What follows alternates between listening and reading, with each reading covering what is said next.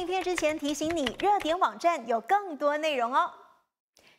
今年是团结政府大砍补贴、大调整多项津贴的一年。首相阿华今天出席活动时，再次为政府调整电费和落实针对性柴油补贴护航，说这就是政府在结构性改革道路上大胆前行所做的事。接着下来呢，也将会继续这样做。他指出，政府负责任的治理必须主动出击，而不是去迎合民粹主义要求。因此，政府必须有更大的政治勇气，冒着不受欢迎的风险来采取这些行动，而不是像前几届的政府那样，只会畏首畏尾，无所作为。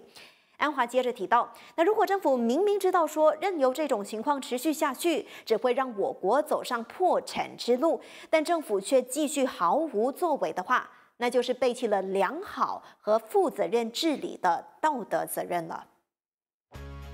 首相安华今天为二零二四国库控股大趋势论坛主持开幕时提到，政府落实电费调整和针对性柴油补贴，并不是要为难人民，而是希望把富人和大企业原本领取的数十亿令吉津贴省下来，以其他形式的补贴或现金转移给更有需要的群体，才能让国家走回正轨。The billions of ringgit saved are now being channeled back to the people in terms of subsidies and cash transfers. And that's what we have done and will continue to do as we proceed boldly on the course of structural reforms. 安华接着表示，如今全球环境复杂多变，但政府承诺将会确保国家在这个恶劣的环境中持续蓬勃发展。因此，施政必须是全面和协调的。最重要是关注国家与人民的长期福祉。像是政府去年提出的昌明经济框架，就是面向区域和全球挑战所做的准备。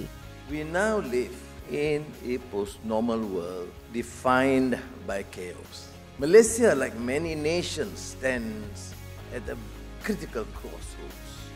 to leap forward or be left vulnerable to destructive processes. 不过，安华也保证，即使目前结构性改革取得积极成果，政府也不会自满或固步自封，会持续保持警惕，应对各项挑战。